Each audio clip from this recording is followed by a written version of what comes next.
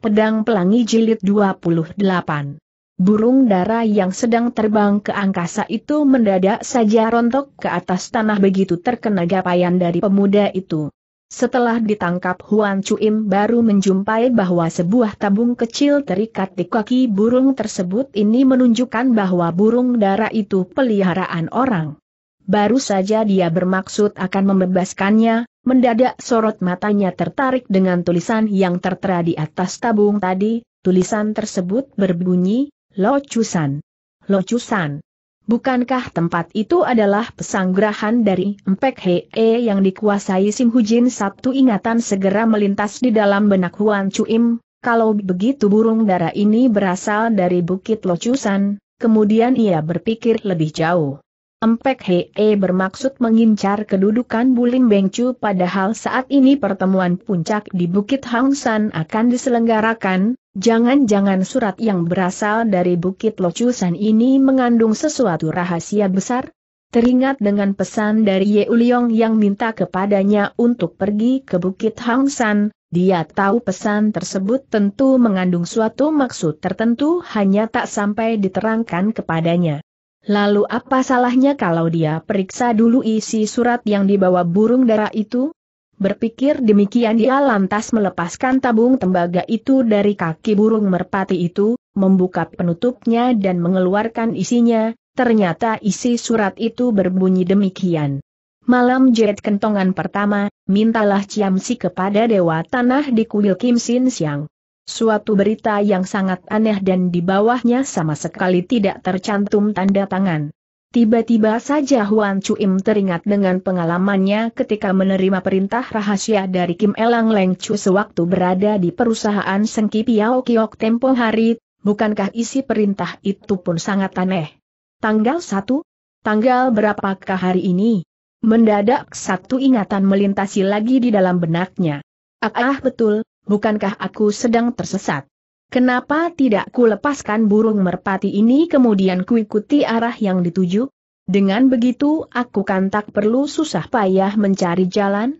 Berpikir sampai di situ dia pun memasukkan kembali surat tadi ke dalam tabung dan diikatkan pada kaki burung merpati itu lalu melepaskannya. Burung merpati itu segera pentang sayapnya dan terbang menuju ke arah barat. Huan Chuim tak berani beraya lagi, dia segera mengerahkan ilmu meringankan tubuh serta mengikuti dari belakang. Perlu diketahui sejak dari kecil ia sudah terbiasa melakukan perjalanan di antara tanah berbukit sehingga ilmu meringankan tubuhnya sudah memiliki dasar yang kuat. Apalagi tenaga dalam yang dimilikinya sekarang telah memperoleh kemajuan yang begitu pesat otomatis ilmu meringankan tubuhnya juga makin menghebat, Begitu melejit tubuhnya segera meluncur bagaikan sambaran petir. Setelah melewati dua bukit di depan sana sudah muncul perumahan rakyat yang membentang bersusun-susun nampaknya menyerupai sebuah kota. Burung merpati itu terbang melintasi hutan bambu menuju ke arah kota dan lenyap di kejauhan sana. Sayang dam diam Huan Chuim berseru di hati. Dengan munculnya perumahan rakyat di depan sana, dengan sendirinya anak muda itu pun tak bisa menggunakan ilmu meringankan tubuh lagi, sambil memperlambat langkahnya dia mendekati hutan bambu itu. Tiba-tiba dilihatnya seorang kakek dengan membawa tongkat bambu sedang berjalan menuju ke arahnya. Cepat-cepat Huan Chuin menyongsong kedatangannya sambil menyapa, permisi, Lo Tiang. Kakek itu berhenti dan memperhatikan Huan Chuin sekejap lalu sambil manggut-manggut membalas hormat sahutnya ada urusan apa kekoan? Aku telah tersesat di gunung dan sudah berjalan semalaman suntuk sebelum akhirnya tiba di sini pagi ini, tolong tanya tempat manakah ini? Tempat ini bernama Sacaplifu. Huan Chuin merasa kenal sekali dengan nama Sacaplifu tersebut, dia masih ingat ketika Lokan Keh mengajaknya pergi ke Benteng Hee ke PO tempo hari, mereka melalui kota Sacaplifu tersebut. Oh, oh, oh, kalau begitu tempat ini terletak di Paksiasan seru Huan Chuim kemudian. Kampung halamannya berada di Dusun Kim Geo Chun yang terletak di kaki bukit selatan Paksiasan. Sebagaimana diketahui, wilayah Bukit Paksiasan membentang sampai sejauh 100-200 li lebih, Padahal dia yang dibesarkan di wilayah Dusun Kim Geo Chun belum pernah melampaui daerah tersebut sejauh 10 li, sudah barang tentu dia tak akan mengenalinya. Sambil tertawa kakek itu segera berkata, tempat ini berada di sebelah barat Bukit Pak Siasan, bila Kekoan hendak meneruskan perjalanan, di kota bisa menyewa kereta. Terima kasih banyak Loti yang kata Wan Cuim kemudian sambil menjura. Tak usah berterima kasih selesai berkata kakek itu segera mengayunkan tongkatnya dan meneruskan perjalanan. Dengan menelusuri jalan setapak Huan Cuim berjalan sejauh satu li lagi sebelum tiba di kota. Kota Sacaplifu terletak antara kota Shuyuxia di utara dengan kota Tongxia di selatan jadi merupakan persimpangan antara dua keresidenan besar, Tak heran kalau kota yang tidak begitu besar ini justru ramai sekali dengan orang yang berlalu lalang rumah makan, rumah penginapan pun sangat ramai. Tempo hari Huan Cuim bersama Loko Ankah pernah menginap di kota ini tak heran kalau dia masih mengenalinya dengan baik hanya saja kedatangannya kembali yang cuma terpaut berapa bulan Loko Ankah telah dipisahkan olehnya begitu jauh. Teringat akan nasib Loko Ankah yang tragis, Rasa sedih segera mencekam seluruh perasaannya, tanpa terasa sepasang matanya berkaca-kaca. Waktu itu sudah mendekati tengah hari Huan Cuim berjalan menuju ke sebuah rumah makan yang memakai merek Ho Heng dan mencari tempat duduk. Pelayan menghidangkan air teh sambil bertanya akan pesan apa. Huan Cuim segera menjawab. Kau suruh saja pelayan untuk menyiapkan beberapa macam sayur dan hidangan lalu siapkan juga setengah kati arak xiaoci. Pelayan mengiyakan dan segera mengundurkan diri. Berhubung waktu itu mendekat tengah hari, tamu yang bersantap di situ makin lama semakin banyak suara manusia yang berbicara pun semakin hiruk pikuk. Pada saat itulah dari arah tangga loteng berjalan naik dua orang lelaki berbaju hijau yang menggembel buntalan berbentuk panjang. Biarpun kedua orang ini mengenakan jubah panjang, namun dalam sekilas pandangan saja dapat diketahui sebagai anggota persilatan tapi bukan seorang jago tangguh, bisa jadi seorang piau tahu dari suatu perusahaan piau klok. Kebetulan sekali pelayan membawa kedua orang itu menempati kursi kosong di sisi kirinya. Begitu duduk salah seorang di antaranya segera berteriak memesan sayur dan arak. Pelayan menanyakan sayur apa saja yang dipesan kemudian mengundurkan diri, tak selang berapa saat kemudian hidangan yang dipesan Huan Cuim telah diantar bersama pesanan kedua orang itu. Sejak mengetahui kalau kedua orang itu merupakan orang persilatan, Huan Cuim segera menaruh perhatian secara khusus, sambil pelan minum arak dia menyadap pembicaraan dari kedua orang itu.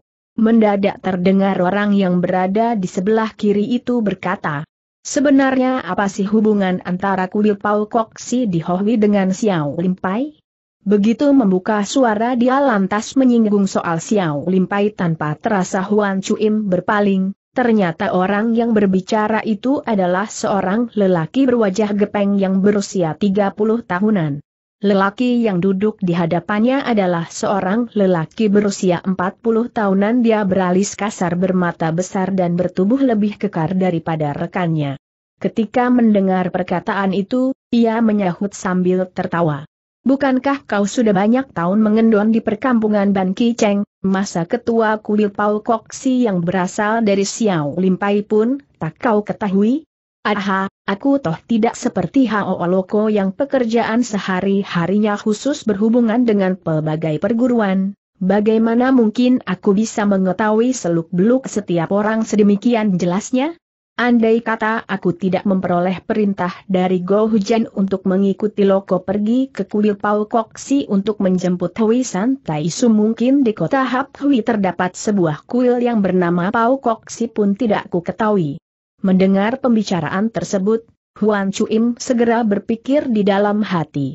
Rupanya kedua orang ini berasal dari perkampungan keluarga Ban di Bukit Hang San yang mendapat perintah untuk menjemput Hui San Taisu dari Xiao Limpai. Sementara si lelaki berwajah gepeng itu sembari berbicara, ia penuhi cawan lelaki bermuka merah itu dengan arak lalu katanya kembali. Holoko, aku dengar Hei Tai Hiap mempunyai harapan yang paling besar untuk berhasil menjadi bengcu bagaimana kalau menurut pendapatmu? Persoalan itu sulit untuk dibicarakan sebab aku dengar ada beberapa perguruan yang mendukung Sam Chiang Tai Hiap Ye Kong, aku rasa hal ini hanya bisa diputuskan oleh para wakil perguruan yang menghadiri pertemuan tersebut kembali lelaki berwajah gepeng itu berkata. Benar, kedua orang itu sama-sama merupakan pendekar besar masa kini, siapa pun yang terpilih memang sama saja. Mendadak lelaki bermuka merah itu menggelengkan kepalanya berulang kali, katanya. Aku rasa dalam pemilihan Beng Chu tahun ini, bisa jadi akan terjadi kesulitan.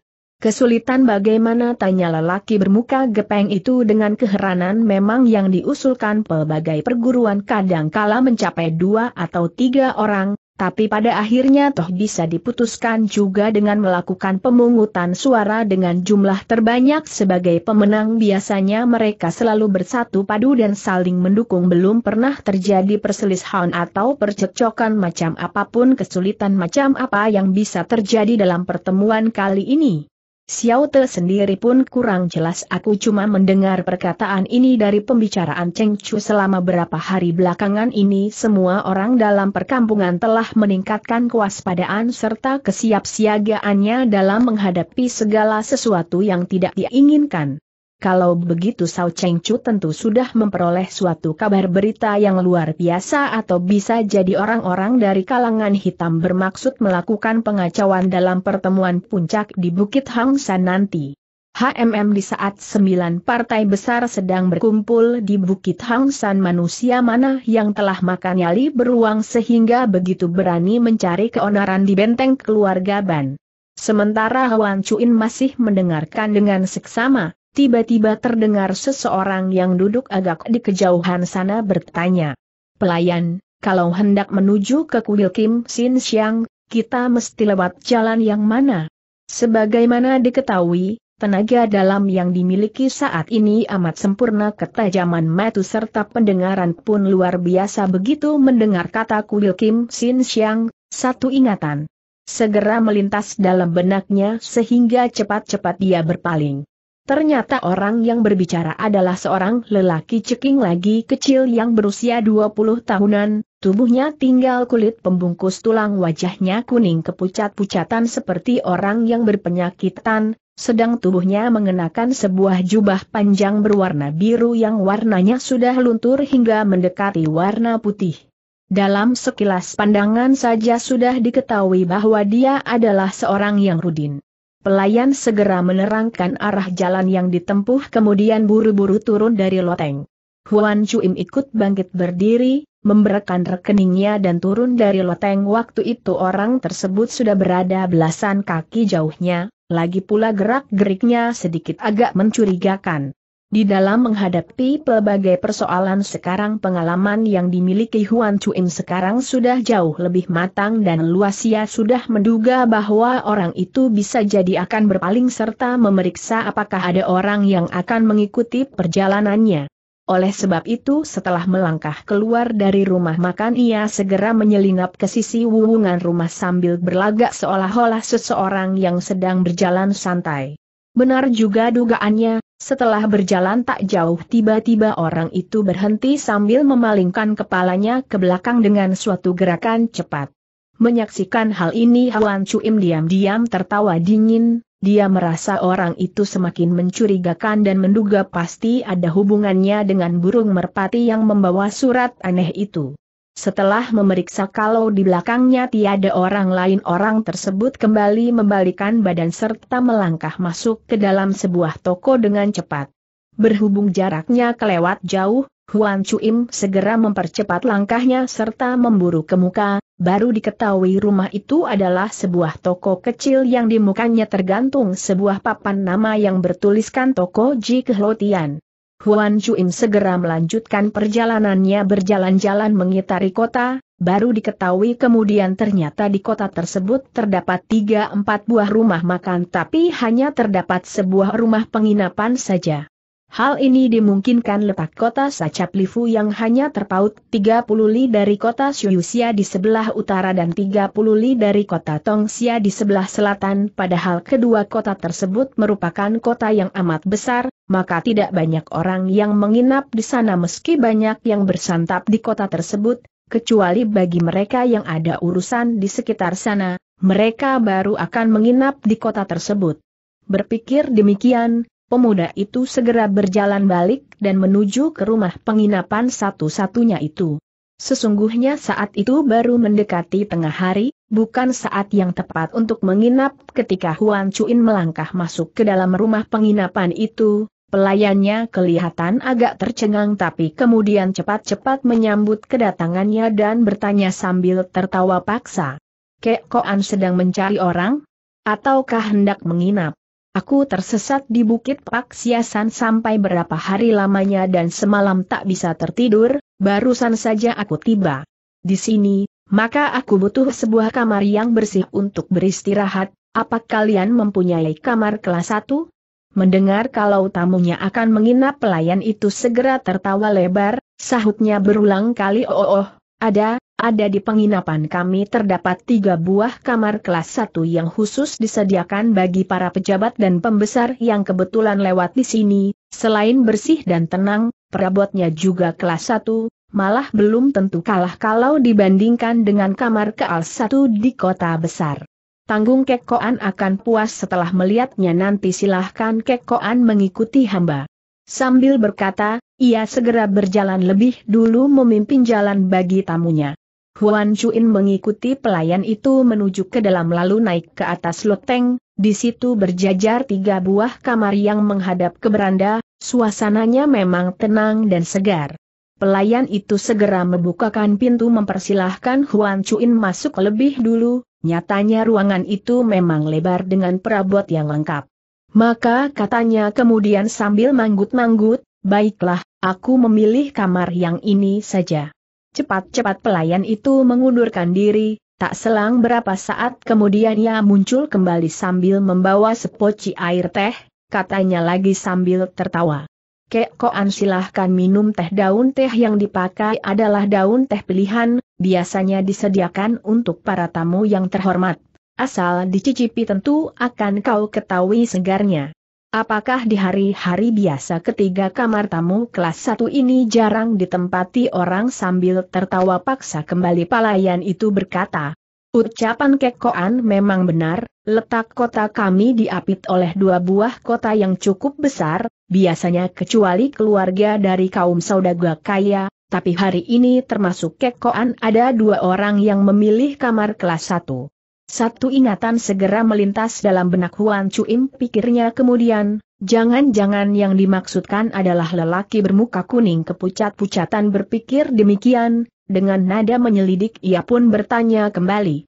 Kalau begitu di dalam rumah penginapan ini masih terdapat tamu agung lain yang sedang menginap di sini?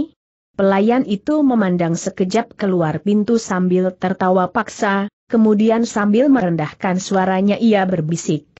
Bukan seorang tamu agung yang sedang menempuh perjalanan kekoan itu berpakaian amat sederhana, tapi orangnya justru sosial sekali, sekali keluar ruang wa'ah tak pakai hitungan.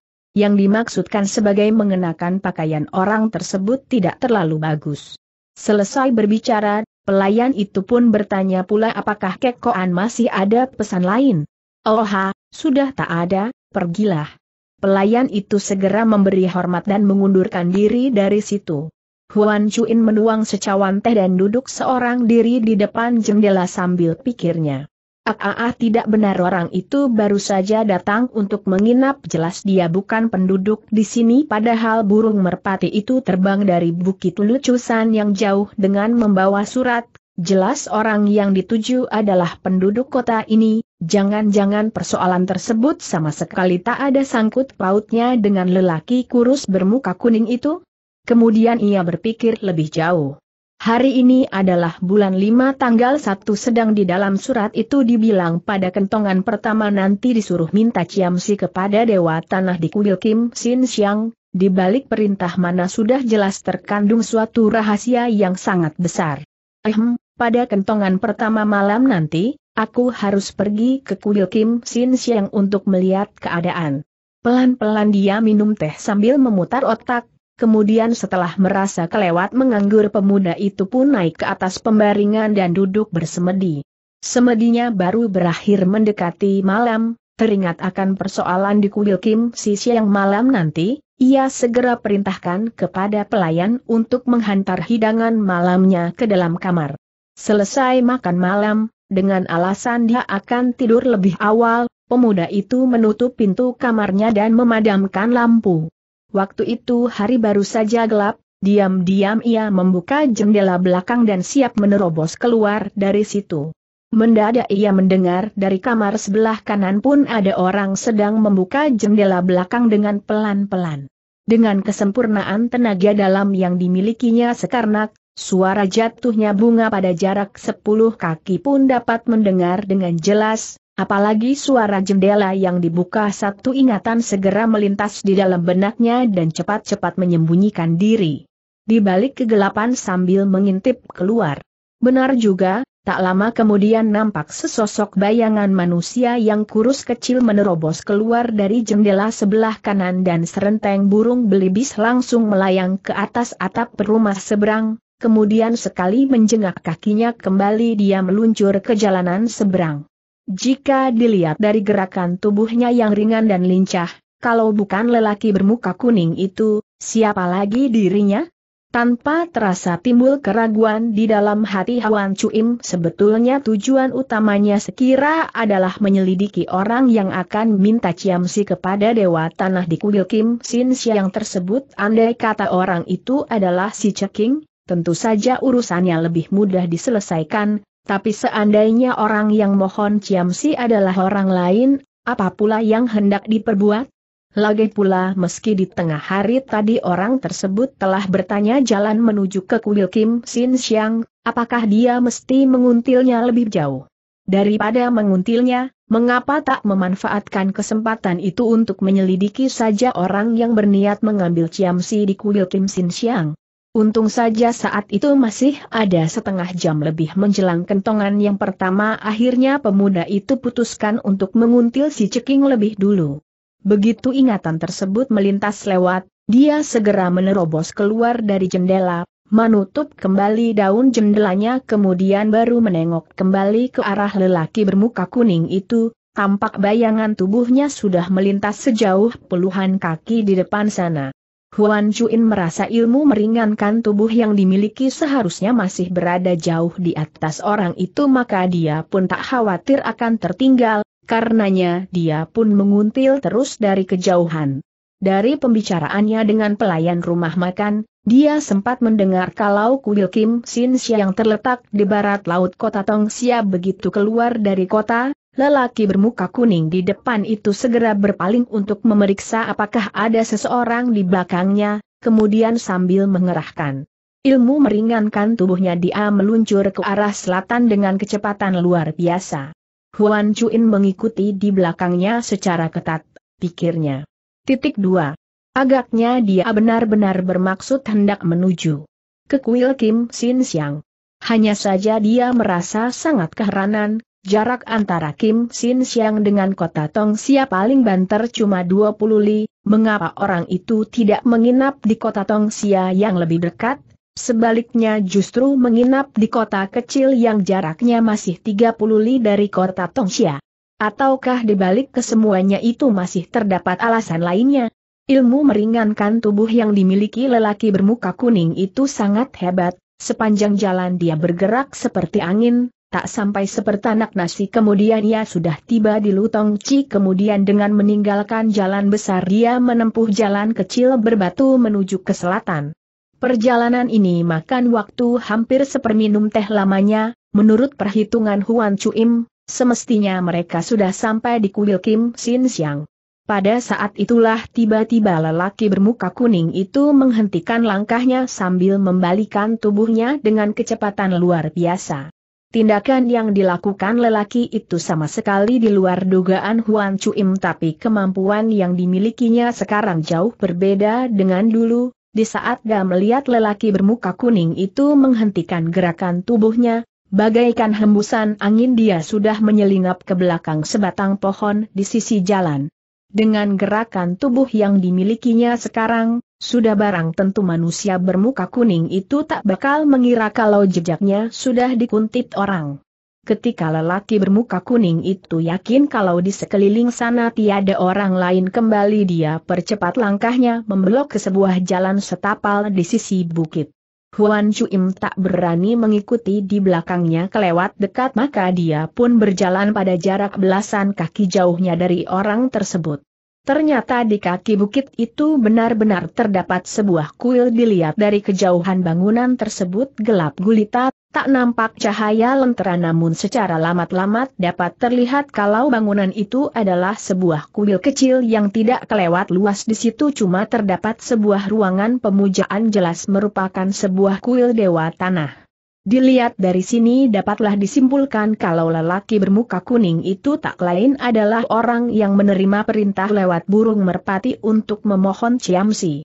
Secara diam-diam Huan Chuin menyelinap ke sisi kanan kuil itu lebih kurang 7-8 kaki di depan kuil merupakan sebuah hutan pohon syong yang lebat, di situlah dia menyembunyikan diri. Waktu itu lelaki bermuka kuning tersebut sudah tiba di muka pintu kuil sekali lagi dia berpaling dan memeriksa sekejap sekeliling tempat itu, kemudian ia baru meneruskan langkahnya memasuki ruangan kuil. Di depan pintu tergantung sebuah papan nama yang bertuliskan, Kuil Dewa Tanah. Ini berarti mereka tak salah alamat. Dengan pandangan matanya yang tajam Huan Cuim memperhatikan sekejap keadaan di dalamnya, di balik pintu ternyata merupakan meja altar ruangan tidak terlalu besar. Sesudah memasuki ruangan kuil lelaki bermuka kuning itu segera menghentikan gerakan tubuhnya, dilihat dari caranya melakukan perjalanan sudah jelas dia merupakan seseorang yang amat teliti.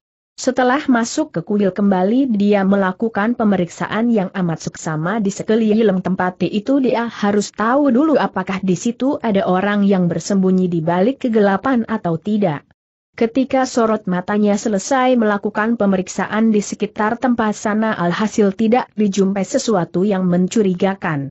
Gerak-geriknya kembali menjadi lincah dan cekatan, dia langsung menuju ke muka altar dan mengambil tabung ciam siang tersedia, sayang sekali tubuhnya telah menghadang pandangan mata Wan Chuin sehingga tidak diketahui olehnya apa yang sedang dilakukan.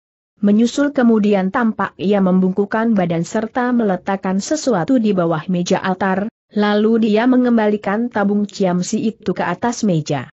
Huan Chuim menjadi amat keheranan setelah menyaksikan kesemuanya itu, pikirnya, jangan-jangan dia bukan datang kemari untuk mengambil ciamsi. Dalam pada itu lelaki bermuka kuning tersebut sudah membalikan badan menuju ke dinding sebelah kiri, agaknya dia mengeluarkan sesuatu dari sakunya dan dimasukkan ke dinding sebelah kiri, kemudian dengan cepat dia melejit keluar, naik ke atap rumah dan meloncat ke wewungan.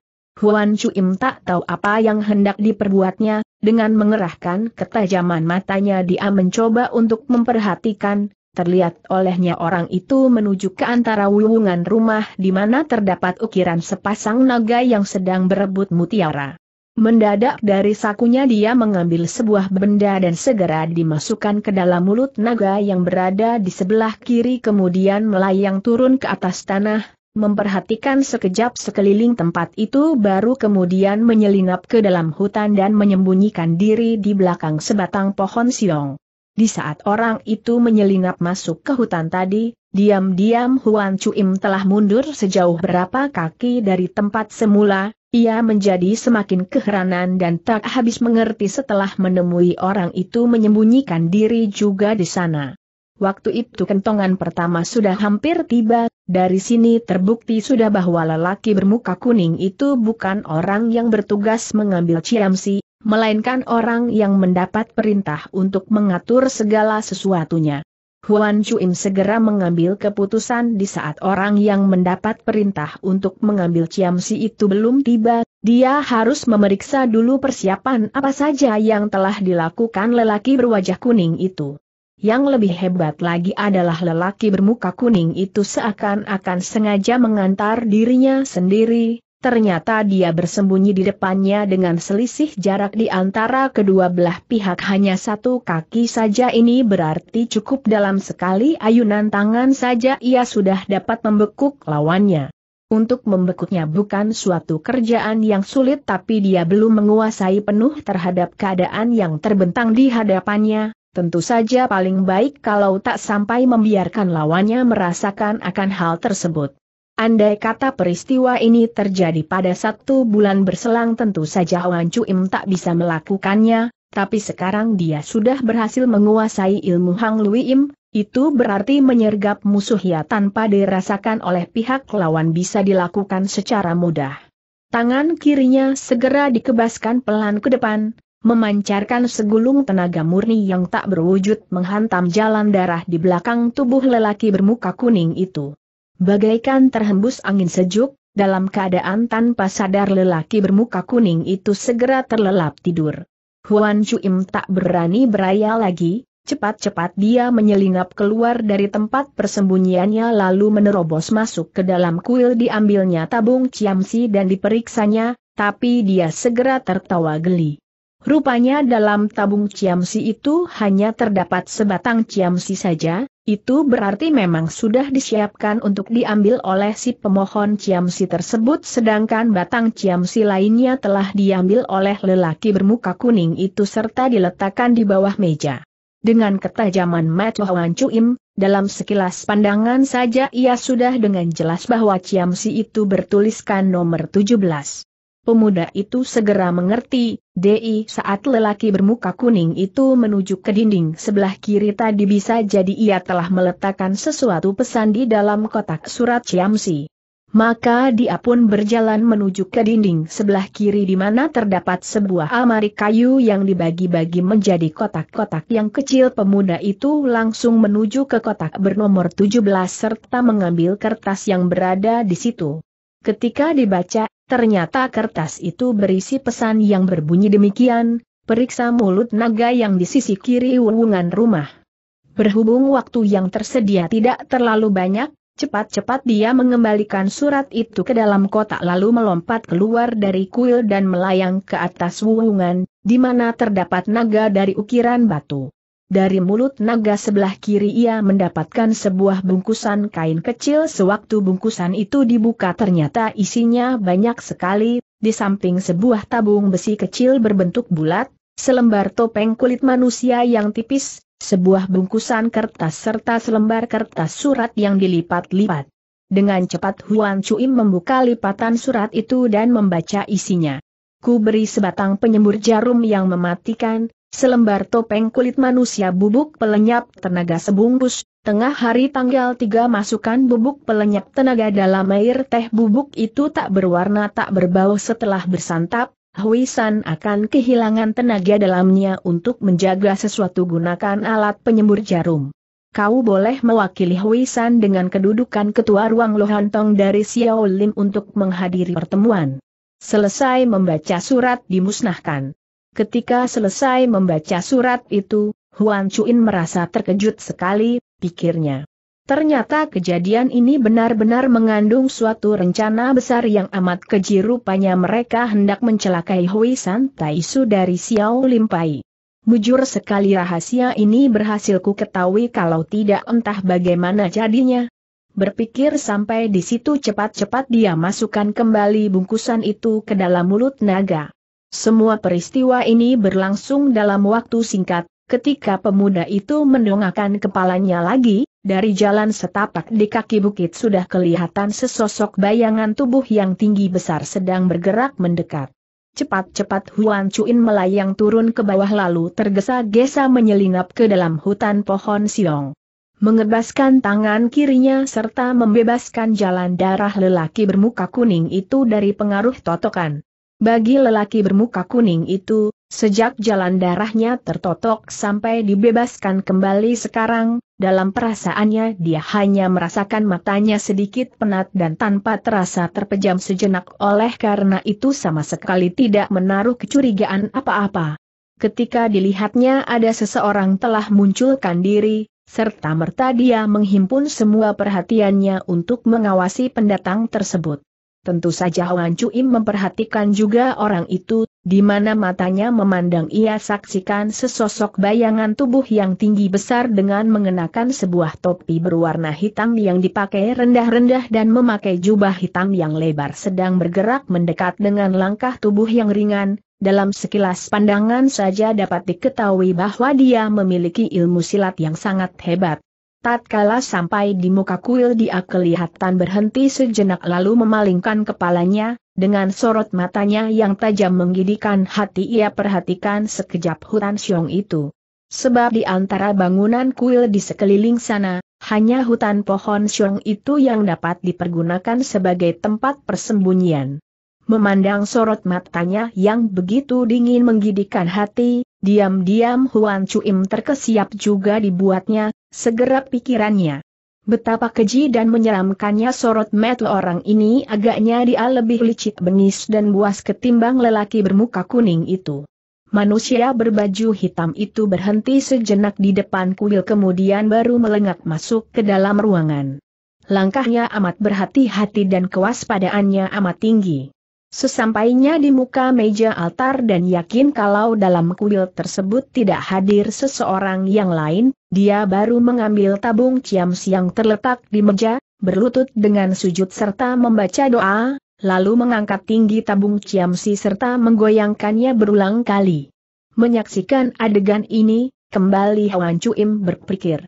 Sudah jelas isi ciam di dalam tabung tersebut hanya Sebatang begitu diambil nomor ciamsinya sudah ketahuan, mengapa ia tak berbuat begitu malahan tetap berlutut, bersembahyang serta menggoyangkan tabung ciamsinya? Agaknya peraturan dari atasan mereka amat ketat sekali, sehingga ketika atasannya memberi perintah agar berlutut dan mohon ciamsi dari Dewa Tanah, ia benar-benar melakukannya dengan penuh sujud tanpa membangkang, di samping itu rupanya dia pun khawatir bila gerak-geriknya diawasi orang sehingga mau tak mau harus berbuat demikian. Oleh karena isi tabung hanya ada sebatang ciamsi, dengan sendirinya dengan cepat pula nomor ciamsinya sudah ketahuan. Dari atas tanah manusia berbaju hitam itu mengambil batang ciamsinya, kemudian bangkit berdiri, menyulut api serta memperhatikan nomornya lalu setelah dikembalikan ke dalam tabung, dia menuju dinding sebelah kiri, membuka kotak laci dan mengambil syairnya. Tulisan itu dibaca sekejap begitu selesai segera disulut di atas api dan membakarnya sampai menjadi debu, kemudian baru memadamkan api yang disulutnya. Keluar dari ruangan, dia melompat naik ke atas atap rumah, dicarinya patung naga sebelah kiri di wuwungan rumah, mengeluarkan sebuah bungkusan hitam dari balik mulut naga itu kemudian dengan cepat melayang turun ke atas tanah. Dia kembali ke dalam ruangan kuil dan sekali lagi menyulut api membuka buntalan dan membaca pesan yang tertulis di sana, sesudah membakar surat itu, dia membereskan bungkusannya, memadamkan api dan mengundurkan diri dari kuil itu. Dengan mengerahkan ilmu mengentengkan tubuhnya yang sempurna, Secepat kilat orang itu meluncur kembali ke arah kota Sacaplifu. Begitu orang berbaju hitam itu berlalu, lelaki bermuka kuning itu pun turut menyelinap keluar dari hutan Xiong serta menyusulnya dari belakang. Kembali tindakan ini sama sekali di luar dugaan Huan Chuim, segera pikirnya. Manusia berbaju hitam itu datang untuk menjalankan perintah, Segala sesuatunya juga dilakukan olehnya sesuai dengan petunjuk lantas apa sebabnya lelaki berwajah kuning itu harus menguntilnya pula? Yaa, tindakan penguntilan yang dilakukan olehnya ini tentu ada sebab-sebabnya. Berpikir sampai di situ, secara diam-diam Huan Chuim segera menguntil pula di belakang lelaki bermuka kuning itu. Setelah menempuh perjalanan sekian jauh, akhirnya ia sampai di kota Sacaplifu. Manusia berbaju hitam yang berada di depan langsung saja berjalan menuju ke ujung jalan, tempat itu berupa sebuah gedung yang amat tinggi, dalam sekilas pandangan saja dapat diketahui bahwa gedung itu milik seorang saudagar kaya atau paling tidak seseorang yang berkedudukan. Lelaki berbaju hitam itu tidak langsung memasuki gedung tersebut melalui pintu gebang, melainkan berputar ke sisi kiri gedung lalu masuk dengan melompat pagar pekarangan rumah. lelaki bermuka kuning itu segera mengikuti pula di belakangnya dan melompat masuk ke dalam gedung melalui pekarangan rumah. Huan Chuim tahu, kedua orang itu adalah manusia-manusia berotak yang teliti dan licik, ia tak berani mengambil tindakan gegabah sehingga menyebabkan memukul rumput mengejutkan seng ular. Diam-diam ia menyelinap sejauh 3-5 kaki jauhnya dari situ, kemudian baru melompat naik ke atas pekarangan rumah dan mendekam di situ. Hanya selisih waktu begitu singkat, ternyata bayangan tubuh manusia berbaju hitam itu sudah lenyap tak berbekas, sedangkan lelaki bermuka kuning itu masih bersembunyi di undak-undakan batu, lalu menelusuri serambi samping menyusup lebih ke dalam lagi. Dengan sendirinya ia sedang menguntil di belakang manusia berbaju hitam itu, berarti asal dia diikuti maka tak akan sampai kehilangan jejak. Tiga sosok bayangan manusia pun berjalan menelusuri serambi yang berliku-liku dan dengan cepat memasuki sebuah halaman lain. Tempat itu merupakan sebuah pesanggerahan yang amat hening dan segar, di depan gedung tumbuh pelbagai macam bunga yang beraneka ragam, di tengah kegelapan tampak bayangan pepohonan bergoyang terhembus angin dan menyebarkan bau harum yang semerbak. Di atas gedung berjajar tiga buah ruangan, pada ruangan sebelah timur tampak cahaya lentera lamat-lamat memancar keluar dari balik jendela. Setibanya di situ lelaki berbaju hitam itu baru melepaskan topinya serta mendehem pelan. Dari balik ruangan segera terdengar seseorang menegur dengan suara parau. Siapa di situ? Si Chongkoan, pinceng yang datang sahut manusia berbaju hitam itu cepat. Gelak tertawa keras segera berkumandang dari balik ruangan. Haaah, haaah, haaah, rupanya Butim Taisu yang datang, silahkan masuk, silahkan masuk. Pintu ruangan dibuka dan muncul seorang lelaki berjubah biru yang mempersilahkan manusia berbaju hitam itu masuk. Di saat kedua orang itu melangkah masuk ke dalam ruangan, lelaki bermuka kuning serta Wan Cuim serentak bergerak ke muka serta menyembunyikan diri di balik bebungahan di luar ruangan. Diam-diam Huan Cuim berpikir di dalam hati. Rupanya manusia berbaju hitam itu adalah seorang Huosyo yang bernama Buti mentah siapa pula si Chongkoan itu?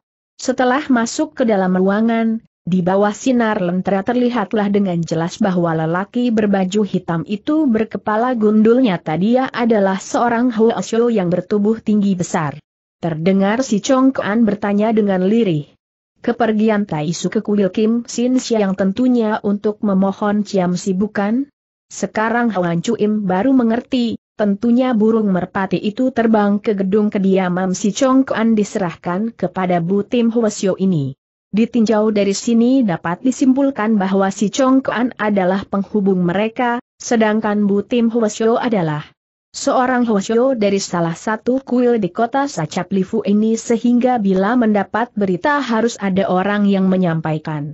Bagi seorang kaya dengan gedung yang begitu megah, tentu saja munculnya burung merpati bukan sesuatu yang aneh atau mudah menarik perhatian orang, berbeda sekali bila langsung terbang ke sebuah kuil, sedangkan penerimanya bukan ketua kuil itu, tentu saja hal ini kurang leluasa rasanya. Sementara itu terdengar Bu Tim Hwasyo telah menyahut sambil tertawa dengan suara rendah dan dalam. Dapat sih sudah dapat, tapi berhubung atasan memerintahkan Pinceng untuk melaksanakan suatu tugas yang besar dan maha penting maka Pinceng harus berangkat sekarang juga, Itulah sebabnya sengaja Pinceng datang kemari untuk memohon diri kepada si Chong Koan. Bersusah payah menempuh perjalanan sejauh 560 li hanya bertujuan minta diri, agaknya hubungan kedua orang ini akrab sekali. Sambil tertawa si Chong Koan segera berkata, Taisu tak usah bicara begitu, sebagai sesama saudara buat apa kau mesti bersungkan-sungkan? Tidak selama satu tahun Pinceng berdiam di kuil Toa Kuan Si, sudah terlalu banyak jasa baik yang si Chong Koan berikan untukku, lagi pula rahasia Pinceng pun hanya si Chong Koan seorang saja yang tahu. Taisu, buat apa kau mengucapkan kata-kata semacam itu kembali si Chong Koan menukas. Bagaimanapun juga, Pinceng harus mengutarakannya kepadamu sebab tugas yang dibebankan kepada Pinceng kali ini teramat rahasia dan tak boleh sampai bocor, si Chong Kuan segera tertawa terbahak-bahak. Haah, haah, haah, haah, soal ini tak usah Taisu khawatirkan, Xiao Te dan Taisu boleh dibilang mempunyai ikatan persaudaraan yang akrab sekali, dalam setahun belakangan ini pun Xiao Te bertugas sebagai penyampai berita kepadamu. Kapankah tugas itu pernah kulakukan secara keliru? Ehm, benar juga perkataanmu itu, Bu Tim Huasyo tertawa seram, itulah sebabnya dengan bersusah payah Pinceng menempuh perjalanan sejauh puluhan li datang kemari dengan maksud hendak berpesan kepada si Chong Kuan, janganlah sampai pihak ketiga mengetahui akan rahasiaku ini. Ak ah ah. Mendadak terdengar si Chong Kuan menjerit kaget, kemudian dengan suara gemetar serunya lagi. Kau, kau. Agaknya secara tiba-tiba ia peroleh serangan yang amat berat dan maha dahsyat. Menyusul kemudian terdengar Bu Tim Huasyo berkata sambil tertawa seram. Walaupun Pinceng mempunyai ikatan persaudaraan dengan Chongkoan yang telah berlangsung puluhan tahun lamanya, namun jejak pinceng kali ini hanya boleh diketahui seorang saja, itulah sebabnya terpaksa aku mesti berbuat begini. Loko, kau sudah terkena jarum pemunah darah, satu jam kemudian tubuhmu bakal hancur dan berubah menjadi gumpalan darah kental, rambut dan tulang pun akan ikut hancur pula, tapi kau tak perlu menyesal, di kemudian hari pinceng tentu akan mendoakan arwahmu agar cepat-cepat masuk surga. Kau, Kau sungguh kejam. Dengan susah payah sambil menahan rasa sakit yang tak terhingga si Chong Kuan memegang ujung meja dengan kedua. Belah tangannya, tubuhnya sangat gontai, tapi secara tiba-tiba ia menarik seutas tali yang berada di sebelah kanan meja itu. Begitu tali ditarik. Kling, kling, kling, bunyi keleningan bergema tiada hentinya. Tak disangka lagi menjelang saat ajalnya si Chong Kuan telah menarik keleningan tanda bahaya dari gedungnya untuk memberitahukan kejadian tersebut kepada semua penghuninya. Bu Tim Huasyo tampak amat terkejut, cepat-cepat ia kenakan topinya kembali lalu. Blaam. Menendang daun jendela sampai hancur dan menerobos keluar dari situ. Semua tindakan yang dilakukan dalam sekejap mata ini boleh dibilang cepat sekali, tapi begitu tanda bahaya berbunyi, dari balik gedung telah muncul pula empat lima sosok bayangan hitam yang menerobos masuk lewat pagar pekarangan. Gerak-gerik orang-orang itu amat gesit dan cekatan bagaikan monyet, tindak tanduknya mantap dan cekatan, sudah jelas mereka adalah manusia yang berilmu silat tinggi. Tatkala Bu Tim Huasyo menerjang keluar lewat jendela, kelima sosok bayangan manusia itu sudah memapaki kedatangannya. Terdengar seorang di antaranya segera membentak keras. Siapa di situ, berani memasuki perkampungan di tengah malam buta, ayo cepat berhenti. Di tengah bentakan, lima orang lelaki berpakaian ringkas dengan golok terhunus telah melakukan pengepungan. Menanti ia sadar akan datangnya ancaman, segulung tenaga pukulan yang sangat kuat telah menyapu tiba, untuk Sesaat dia jadi terdesak hingga mundur terus ke belakang. Huan Chuim yang menyaksikan kejadian ini segera berpikir dalam hati. Ehm, tampaknya ilmu silat yang dimiliki Huasyo ini sangat hebat, tenaga dalamnya juga amat sempurna. Sementara itu, Bu Tim Huasyo yang berhasil mendesak mundur kedua orang lawannya dengan dua serangan tak membuang waktu lebih lama lagi, sepasang kakinya segera dijejakan ke tanah, Bagai seekor bangau abu-abu yang melambung di angkasa, dia melesat keluar pagar pekarangan rumah. Tiga orang lelaki lainnya tidak ambil diam, begitu dilihatnya Bu Tim Huasyo yang berhasil mendesak mundurkannya berusaha untuk melarikan diri, serentak mereka membentak keras kemudian menerjang maju ke depan. Dua orang lelaki yang terdesak mundur tadi segera ikut memburu pula ke depan, bentaknya keras-keras. Bajingan keparat, kau berniat melarikan diri. Lima sosok bayangan manusia bagaikan halilintar mengejar rembulan, langsung meluncur ke depan melakukan pengejaran. Tak lama setelah kelima orang itu memburu ke muka, mendadak terdengar berapa kali dengusan tertahan bergema memecahkan keheningan, menyusul kemudian titik. Bluk, Bluuk. Kelima orang lelaki kekar yang mengejar ke arah pagar pekarangan itu tahu-tahu bergelimpangan jatuh ke atas tanah. Memanfaatkan kesempatan itu Bu Tim Hwasyo melompat pagar pekarangan serta melarikan diri. Pada saat itulah terdengar suara langkah kaki bergema datang dari kejauhan, menyusul kemudian terdengar. Seseorang menegur dengan suara dalam. Si Chongkoan, teman dari manakah yang telah berkunjung datang? Mengikuti teguran itu, muncul tiga orang lelaki dari balik pintu berbentuk rembulan. Orang yang berada di paling depan adalah seorang lelaki berusia 50 tahunan yang berwajah putih bertubuh gemuk alis mata, tebal dan bermata kecil. Gerak-gerik maupun tingkah lakunya amat santai tapi mencerminkan suatu wibawa, hingga dalam sekilas pandaknan saja dapat diketahui bahwa dia adalah tuan rumah pemilik gedung itu. Orang kedua adalah seorang kakek berjubah hijau yang membawa sebuah huncue sepanjang tiga depa, usianya antara 60 tahunan, alis matanya tajam dengan metu cekung ke dalam, sinar tajam yang menggidikan hati mencorong dari balik matanya itu. Sedangkan orang ketiga adalah seorang lelaki setengah umur berjubah hijau yang memakai ikat pinggang kemala dengan sebuah pedang tersoren di pinggangnya, dia berusia antara 40 tahunan, wajahnya putih bersih dan nampak amat halus. Begitu melihat kemunculan ketiga orang itu, kelima orang lelaki yang tergeletak di atas tanah itu segera melompat bangun seraya menjura, hamba menjumpai Cheng Chu. Melihat kelima orang lelaki itu meski sudah merangkak bangun namun gerak-geriknya nampak kesakitan, dengan rasa heran Cheng Chu yang bertubuh gemuk itu segera bertanya, Kenapa dengan kalian? Seorang di antaranya segera membungkukan badan dan memberi hormat seraya menyaut.